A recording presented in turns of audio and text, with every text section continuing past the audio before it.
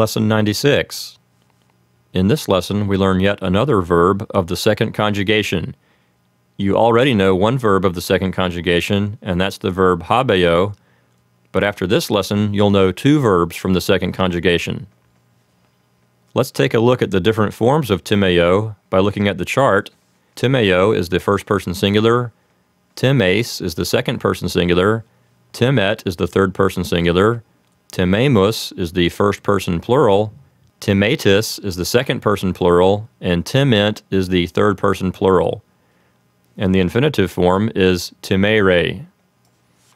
Let's get some practice with our new verb by looking at the exercises. In exercise 1, the verb is timeo, and that means I fear. It's being negated by the word non, and bestias is the direct object. So number 1 says, I do not fear the beasts. In number 2, timent is the verb.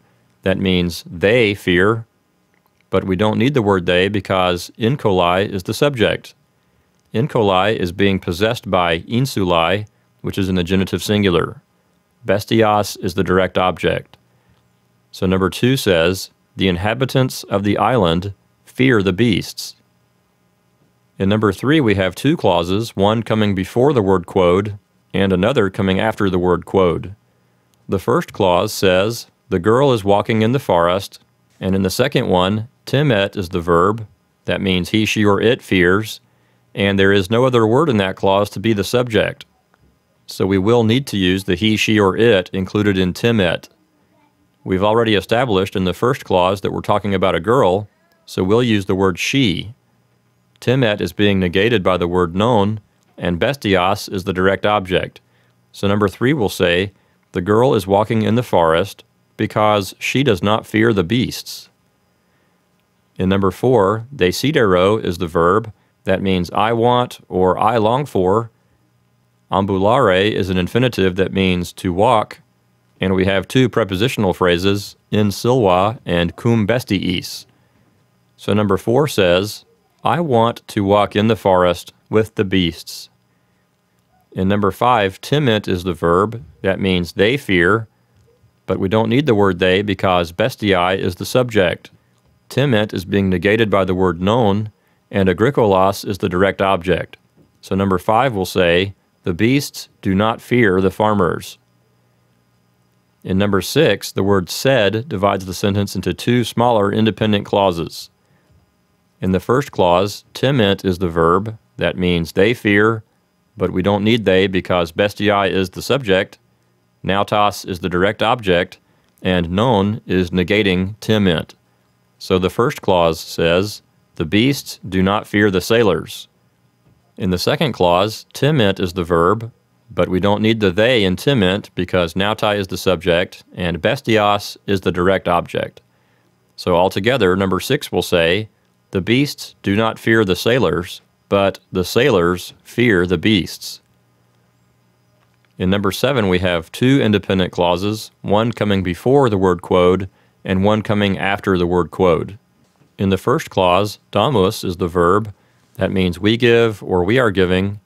Pecuniam is the direct object, and poetae is the indirect object. In the second clause, habet is the verb, and that means he, she, or it has. And since there's no other word in that clause to be the subject, we will need to use the word he, she, or it as the subject. In the first clause, we have already established that we're talking about a poet, so we'll just use he as the subject. Pecuniam is the direct object. So number seven will say, We are giving money to the poet because he does not have money. In number eight, we have two clauses, one coming before quod and the other coming after quod. In the first clause, we have potes, which means you are able. It's being negated by the word non. Navigare is an infinitive that means to sail, and ad insulam is a prepositional phrase. In the second clause, habes means you have, it's being negated by non, and scapham is the direct object. So number 8 says, You are not able to sail to the island because you do not have a boat. In number 9, sum is the verb, that means I am. In casa is a prepositional phrase, and the word casa is being possessed by the word agricolae, which is in the genitive singular. So number nine will say, I am in the house of the farmer, or I am in the farmer's house. In number 10, we have two clauses, one coming before quod and the other coming after quod.